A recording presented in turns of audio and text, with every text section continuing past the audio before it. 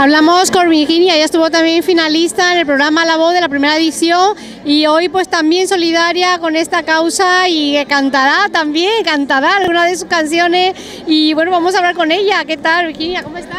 Pues muy bien, muy contenta de estar aquí apoyando esta causa tan buena como es la carrera solidaria, el Pinktober y con muchas ganas ahí de cantar y de pegar un buen sonido para que la gente disfrute y además de colaborar pues se lo pasen todos muy bien.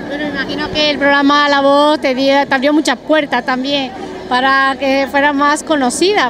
Sí, la verdad es que es como un caminito que, digamos que te abre la puerta. Y está muy bien porque ahora estoy montando mi propio espectáculo que se llama, se llama, La Vintage Band, se llama y hoy vengo con las chicas de la Vintage Band que son las Vintage Girls, somos tres y son unas chicas preciosas y estupendas que las vaya a ver ahora cómo bailan y cómo cantan.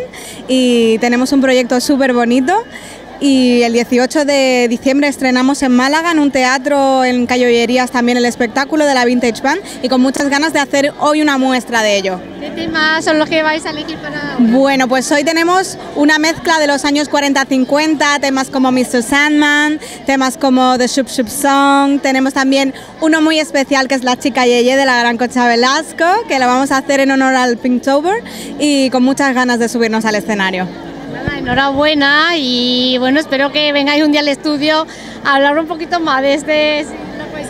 Cuando quiera, por supuesto, gracias.